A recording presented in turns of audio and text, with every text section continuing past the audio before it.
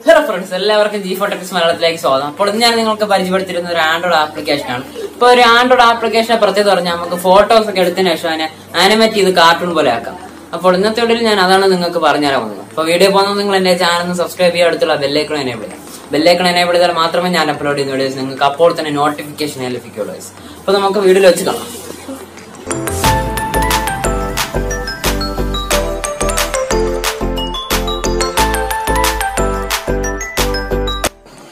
Okay friends അപ്പോൾ നിങ്ങൾക്ക് ഈ ഒരു ആപ്ലിക്കേഷൻ ഫ്രീ ആയിട്ട് പ്ലേ സ്റ്റോറിൽ നിന്ന് ഡൗൺലോഡ് ചെയ്യുന്നതായിരിക്കും. പിന്നെ ഇതിന്റെ ലിങ്ക് ഞാൻ താഴെ ഡിസ്ക്രിപ്ഷനിലും കൊടുത്തിട്ടുണ്ടായിരിക്കും.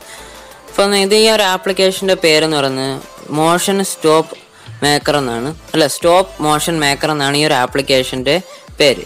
ഇപ്പോൾ ഈ ഒരു ആപ്ലിക്കേഷൻ ഓപ്പൺ ചെയ്ത് വരുമ്പോൾ നിങ്ങൾക്ക് ഇതേപോലൊരു ഇന്റർഫേസ് ആയിരിക്കും കാണാൻ സാധിക്കുക. താഴോട്ട് നോക്കുവാണെങ്കിൽ നമുക്ക് ന്യൂ എന്ന് പറയുന്ന ഒരു ഓപ്ഷൻ കാണാൻ സാധിക്കും. അതിൽ ക്ലിക്ക് ചെയ്തതിന് ശേഷം നമുക്ക് സ്റ്റാർട്ട് എന്ന് പറയുന്ന ഒരു ഓപ്ഷൻ വരും. അതിനകത്ത് ക്ലിക്ക് ചെയ്യുക. സ്റ്റാർട്ടിൽ ക്ലിക്ക് ചെയ്ത് വരുമ്പോൾ നമുക്കൊരു ക്യാമറയുടെ ഒരു ഇന്റർഫേസ് ആയിരിക്കും നമുക്ക് അതിൽ ക്ലിക്ക് ചെയ്തതിന് ശേഷം വരുന്നത്. അപ്പോൾ ഇനി നിങ്ങൾ ചെയ്യേണ്ടതെന്ന് വെച്ചാൽ ഇപ്പുറത്തായിട്ട് ഒരു പ്ലെയിൻ പ്ലെയിന്റെ ഒരു ഐക്കൺ കാണാൻ സാധിക്കും. അതിൽ ക്ലിക്ക് ചെയ്തതിന് ശേഷം നിങ്ങൾക്ക് ഇവിടെ ഒരുപാട് ഓപ്ഷൻസ് ഒക്കെ കാണാൻ സാധിക്കും. അതിനകത്ത് ആദ്യത്തിൽ നിങ്ങൾക്ക് ഒനിയൻ എന്ന് പറയുന്ന ഒരു ഓപ്ഷൻ ഉണ്ട്. അതൊന്ന് ജസ്റ്റ് നിങ്ങളൊന്ന് ഓൺ ആക്കിയിടുക. അതിനുശേഷം നിങ്ങൾക്ക് ഫോക്കസ് അതൊന്നും അതിന്റെ ഒന്നും ആവശ്യമില്ല. നിങ്ങൾക്ക് ഒനിയൻ മാത്രം ഒന്ന് ഓൺ ആക്കി ഇട്ടാൽ മാത്രം മതി.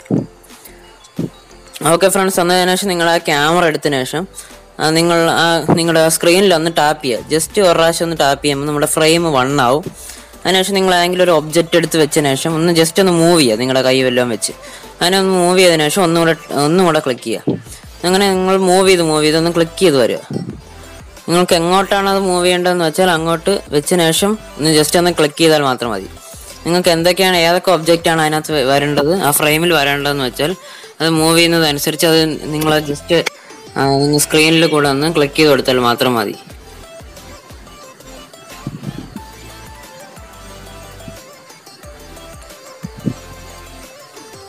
ഓക്കെ ഫ്രണ്ട്സ് അപ്പോൾ ഞാനിപ്പോൾ ഇതിവിടെ ചെയ്ത് കഴിഞ്ഞു. അതിന് മേലോട്ടൊക്കെ ഞാനൊരു ക്ലോസിന്റെ ഒരു ഐക്കൺ കാണാൻ സാധിക്കും. അതിൽ ക്ലിക്ക് ചെയ്തതിനു ശേഷം നിങ്ങൾക്ക് ആ ഒരു വീഡിയോ പ്ലേ ചെയ്യുന്നതാണ്. കണ്ടോ? അപ്പോൾ നിങ്ങൾക്ക് സ്പീഡിലൊക്കെ ഒന്ന് പോകുന്നതാക്കാം നിങ്ങൾ നല്ലപോലെ ചെയ്താൽ കുറച്ച് സമയമൊക്കെ എടുത്ത് ചെയ്ത് നിങ്ങൾക്ക് നല്ലപോലെ ചെയ്യാൻ പറ്റുന്നതായിരിക്കും ഗൈസ് ഓക്കെ ഫ്രണ്ട്സ് അപ്പൊ ഇന്നത്തെ ഇത്രയുള്ള എല്ലാവർക്കും വീഡിയോ ഇഷ്ടപ്പെട്ടെന്നായിരിക്കും ഇഷ്ടപ്പെടാതെ ലൈക്ക് ചെയ്യുക ഷെയർ ചെയ്യുക.